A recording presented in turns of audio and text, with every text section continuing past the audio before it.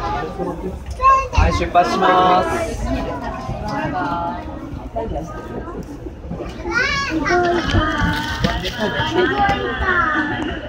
ほらみんなバイバイして本日は車両洗浄体験にお越しいただき誠にありがとうございます。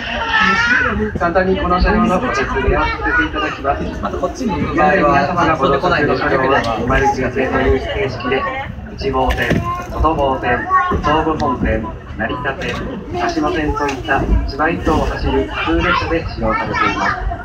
この時、この209系は1992年にデビューし、最初は標準東北線を走っていましたが、2009年にトイレや座席などが改造されたものの後、赤石のセンターに配属されました。この209系車両に約2時間ありではございますが、洗浄したいけど旅を楽してください。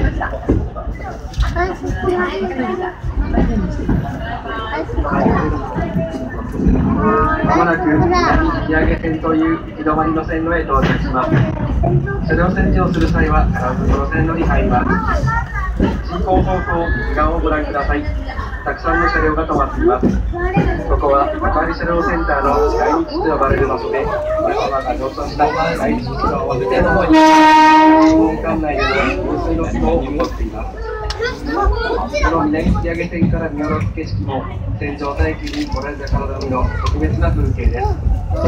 ぜひ車両口の大きさや普段見られない景色をご堪能ください。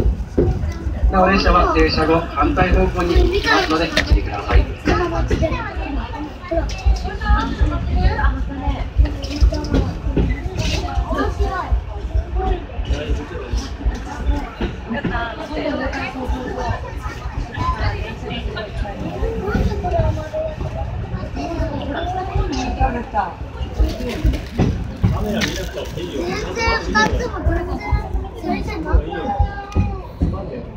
列車はまもなく行き止まりのところに到着をいたします。